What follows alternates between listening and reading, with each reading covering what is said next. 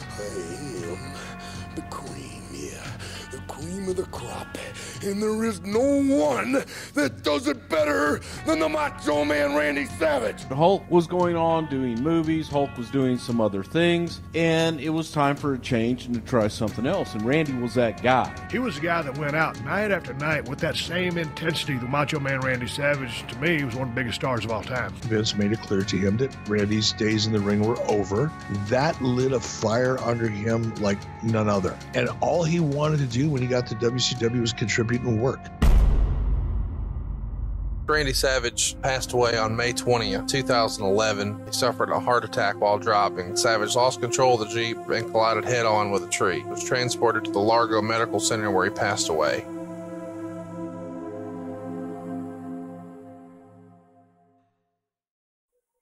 On 20th May 2011, 58 year old Randy Savage, aka Randy Poffo, was driving his 2009 Jeep Wrangler when he told his wife Lynn, I think I'm gonna pass out. Savage's foot pressed down on the accelerator and the Jeep sped over a concrete median into oncoming traffic. Lynn quickly seized the wheel and aimed the Jeep at a tree.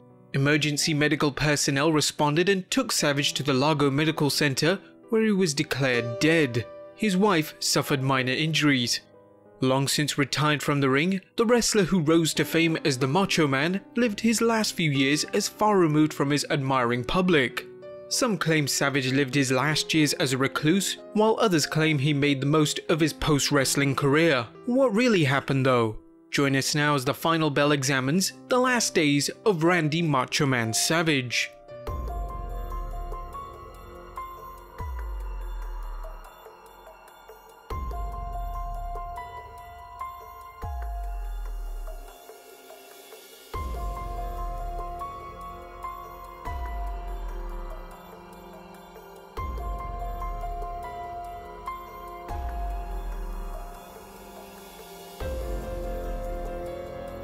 While Randy Savage is forever associated with the squared circle, his first love was baseball. An anecdote by Savage's childhood friend is just one of the many stories showing Randy's unbridled drive to succeed at whatever he did.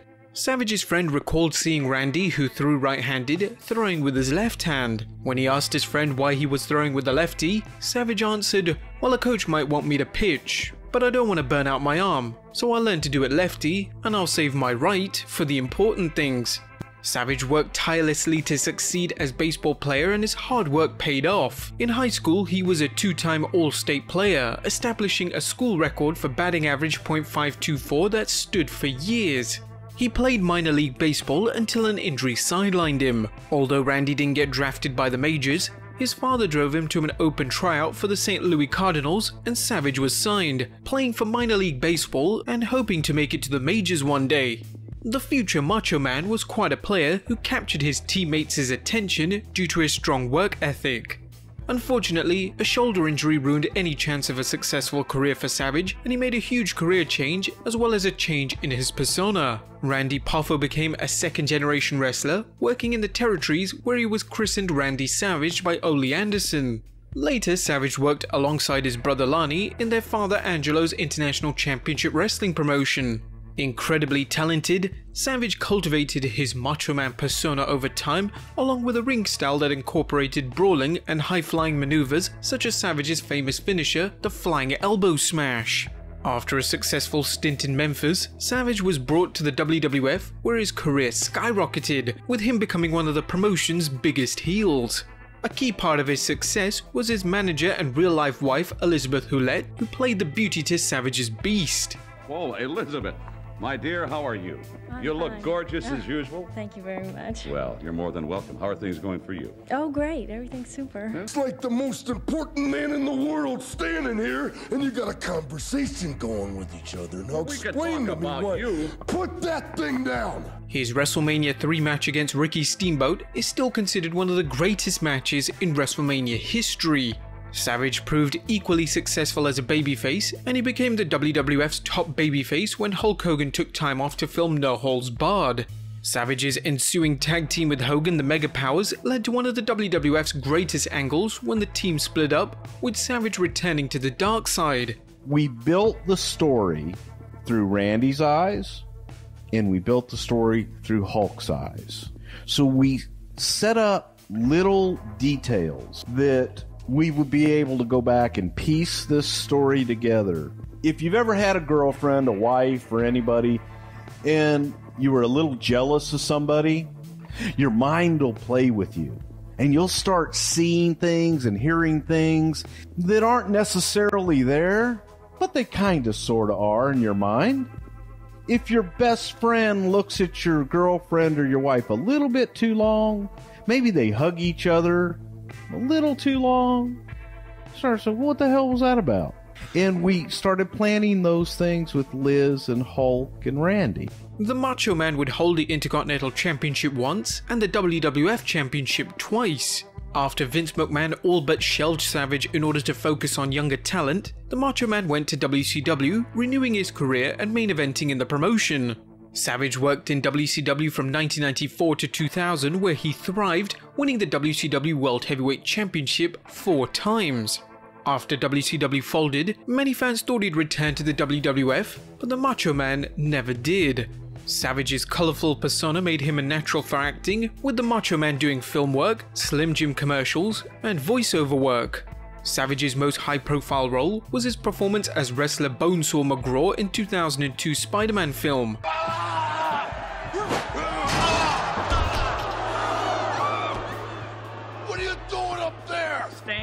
From you. During the shoot, Savage performed his own stunts and was injured, leading to a lifelong inability to turn his neck. He went to work for TNA Wrestling briefly, participating in less than a handful of matches from late 2004 to TNA's January 2005 Final Resolution pay per view. By that time, it was clear Savage was finished with professional wrestling.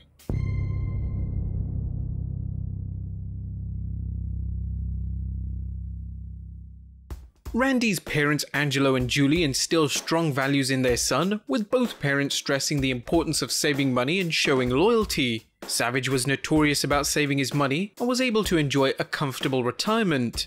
An example of Savage's loyalty was how he adopted the song Pomp and Circumstance as his entrance music in tribute to wrestler Gorgeous George, who mentored his father Angelo. George used Pomp and Circumstance as his entrance music, so every time Savage entered the ring, he was honoring the man who helped his dad so many years before. Randy was close to his father and was devastated when he died in 2010 at the age of 84. The Macho Man was a family man who believed family came first. When Savage was offered a job in the WWF, he insisted that brother Lanny Poffo be brought into the company. Years later, Savage requested his dad to be inducted into WCW's Hall of Fame, yet another example of Savage honoring his dad. He would have a grudge against Vince McMahon for the rest of his life after the WWF didn't allow Angelo Poffo to participate in the Legends Battle Royal in 1987. By all accounts, Savage's relationship with Vince McMahon became strictly business, and when the opportunity arose to wrestle in WCW, the Macho Man bailed on the WWF despite telling McMahon he planned on staying.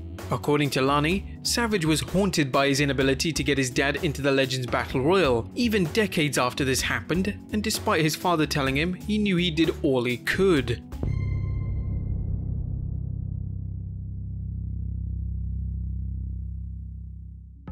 The Macho Man's later years saw him living a life described by some as reclusive. The fact Savage lived in a home with security fences, cameras, and guard dogs patrolling it seems to fit the description. Despite his outgoing persona, Savage was a private man. While fans will forever associate Randy Savage with the hyper energized Superman with a nuclear powered personality, the real Randy Savage was different. As noted earlier, Savage was considered a quiet man when he played baseball, and it seems he was much different when the cameras stopped rolling. Bret the Hitman Hart would speak of trying to get in touch with Savage, but that the Macho Man isolated himself. Indeed, Savage had tried to live as an ordinary citizen, at one point buying a beach home. His brother Lanny discussed how Savage could get no respite from his fans, so he finally chose to move somewhere else with true privacy. Nevertheless, Savage was no hermit and instead spent his post wrestling life with his family, reconnecting and catching up on lost time. Savage spoiled his parents with gifts and sent them on vacations until they told him they were going to get too old to travel. The Macho Man also devoted his time to charitable causes for Tampa Bay schools and children's groups. According to a 2011 article, He became a fixture at the Steinbrenner Family Foundation's annual Christmas concert at Ruth Eckerd Hall, doing a reading of the famous Clement Moore poem that began, "Twas the night before Christmas. Oh yeah. His mother spoke about Savage's retirement years, saying, He worked on his house, he was busy with his animals, he married again, and he took us to our doctor appointments, things he missed all those years when he was wrestling. Savage valued his privacy, but he did not shut himself off from the world, instead, being selective with whom he let in.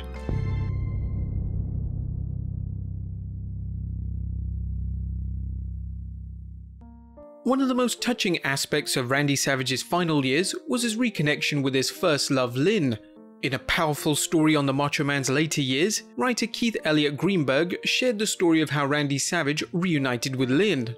He'd been in the gym about a decade earlier when a stranger approached and mentioned that she knew his girlfriend from his minor league days. Randy and Lynn quickly rekindled their romance and moved in together. On May 10, 2010, the couple finally married on the same spot of the beach they'd first met in 1972. Savage adored his wife and made sure she would be provided for when he died, again demonstrating his loyalty.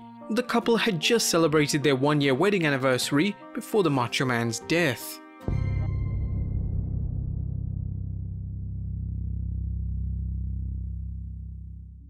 Despite his quiet nature, Savage could hold a grudge, but in his last years, something seemed to change. Was it that Savage sensed he was living on borrowed time and he developed new priorities in his life?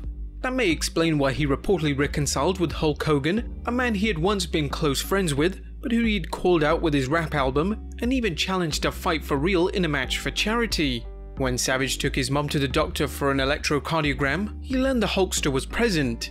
Rather than coming to blows, Savage saw Hogan and gave him a big hug. Randy's mom would recall, he came up and grabbed Hulk from behind. Hulk turned around and he was so happy. Randy wasn't angry anymore.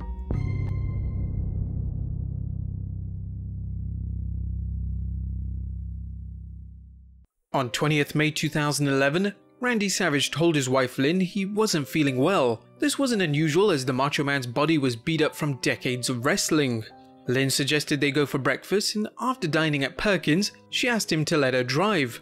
Savage declined, but later during the drive passed out, his foot hitting the gas, causing his Jeep to travel over a concrete median into oncoming traffic. Lynn quickly acted, grabbing the wheel and aiming the vehicle at a tree where it crashed, causing minor injuries to her.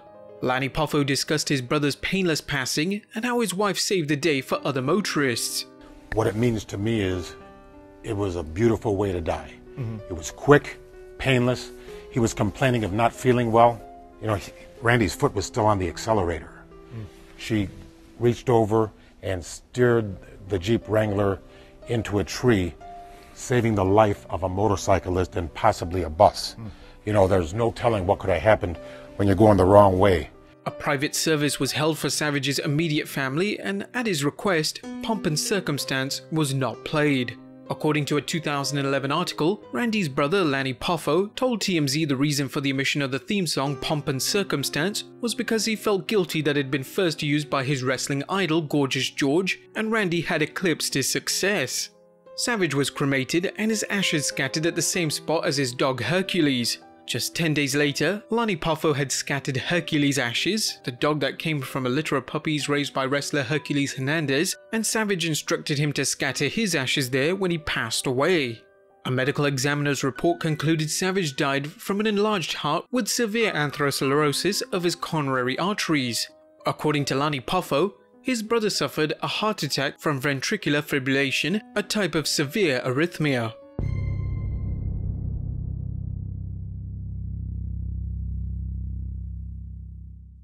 Savage left a legacy for his fans and those who worked with him. WWE Hall of Famer Mean Gene Okerlund praised Savage for his ability to cut promos. Back then, everything was right out of the hip pocket. It was really genuine, I'd say. Certainly somebody that wasn't as adept at doing interviews back then would stand out like a sore thumb. I take a look at the champs through the years, and I couldn't make heads or tails of anything that the Ultimate Warrior said. Randy made sense, and made money. Million Dollar Man Ted DiBiase praised Savage, saying, I admired Randy. I thought he was a stand up guy. Everybody has their quirks, but I mean, all in all, Randy was just a consummate professional. In 2015, Randy Savage was inducted into the WWE Hall of Fame, a move that was seen by some fans as far too late in coming. Savage had wanted his entire family to be inducted into the hall, but that was not to be. Savage's brother initially refused the WWE's request to induct the Macho Man, telling him of his late brother's wishes for the entire family to go in. During an episode of his podcast, The Genius Cast, Poffo recalls changing his mind about Savage going into the Hall of Fame because he didn't want the Macho Man's fans to have to wait decades for his induction, similar to what befell Bruno Sammartino. The thought of Savage's fans being dead or too old to appreciate his induction led to Poffo making an executive decision. Savage was inducted with Leaping Lanny reciting a poem in his brother's honor. His match with Ricky Steamboat in 1987 was on a scale from 1 to 10, much better than 11. When the mega powers exploded, the storyline was real. Life's too short to hold a grudge. It's time for us to heal. Randy Savage inspired fans and wrestlers alike. Jay Lethal portrayed Black Machismo, a spot on Macho Man impersonation, and one endorsed by Savage during his time in TNA Wrestling. Lethal reprised the character for 2018's indie super show All In, wearing one of Savage's ring robes and letting Lanny Poffo second him in his Ring of Honor World Championship defense against Flip Gordon. On 15th November 2019, Vince McMahon tweeted to celebrate what would have been Randy Savage's 67th birthday. He had unbound charisma that made him one of the greatest superstars ever, remembering the Macho Man on his birthday. Undeniable charisma and an in-ring style that combined agility, strength and brawling, Randy Savage's career unleashed macho madness on the wrestling world, a phenomenon still talked about to this day. Well guys, I hope you've enjoyed episode 4 of The Final Bell. Next up, it's one that's been requested for quite a long time, and that's the final days of The Ultimate Warrior. Be sure to hit that subscribe button if you haven't already, follow us on Instagram and Twitter, share this video to all your friends, comment down below, and I'll see you next time with some more wrestling content.